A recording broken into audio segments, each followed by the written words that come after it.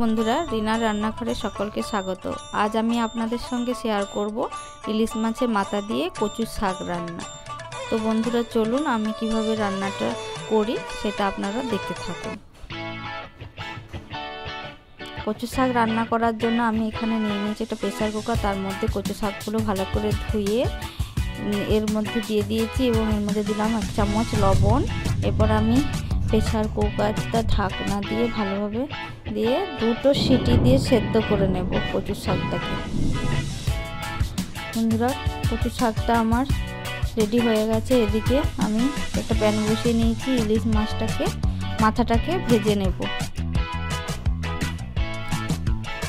ইলিশ মাছের মাথাটাকে নিচের উপর দিয়ে দিয়েছি কড়াইয়ের মধ্যে সর্ষের তেল আর দেবো পাঁচ ফোড়ন এগুলোকে ভালোভাবে ভেজে নেব। ভাজা হয়ে গেছে। এবার এর মধ্যে দিয়ে দেব ছটা রসুনকে থেতো করে নিয়েছি, সেটা দিয়ে ভালোভাবে ভেজে নেব। ভাজা হয়ে গেছে। এবার এর মধ্যে দিয়ে দেব আগে থেকে সেদ্ধ করে রাখা কচু শাকগুলো। কচু শাকগুলোকে ভালোভাবে নাড়িয়ে নেব আর দেবো অল্প একটু হলুদ। কচু শাক সেদ্ধ করার সময় নুন দিয়েছিলাম। তাই এখানে আর নুন দেবো না, দিয়ে দিচ্ছি ইলিশ মাছের মাথা। মাথাটা দেওয়ার পর ভালোভাবে নাড়িয়ে নেব। আর দিচ্ছি চারটে কাঁচা লঙ্কা।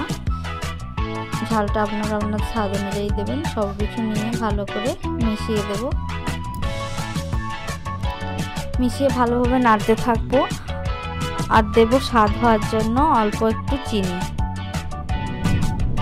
চিনিটাকে দিয়ে ভালোভাবে আবার নাড়িয়ে নেব। আমার কচু শাকটা তৈরি হয়ে গেছে, এবার এর মধ্যে দিয়ে দেব নামানোর আগে কয়েকটা বাদামকে আমি ভেজে ছোটো ছোটো করে রেখেছি। সেগুলোকে দিয়ে ভালোভাবে মিশিয়ে নেব। কচু শাক যত টানিয়ে রান্না করবেন তত খেতে সুস্বাদু হবে। এর মধ্যে থেকে জলটা বেরিয়ে গেছে এবং শুকনো শুকনো মাখা মাখা হয়ে গেছে। কচুর শাক আমি তৈরি করে নিয়েছি। আমার এই রান্না যদি আপনাদের ভালো লেগে থাকে, তাহলে আমার চ্যানেলটিকে সাবস্ক্রাইব করবেন এবং লাইক, কমেন্ট, শেয়ার করবেন।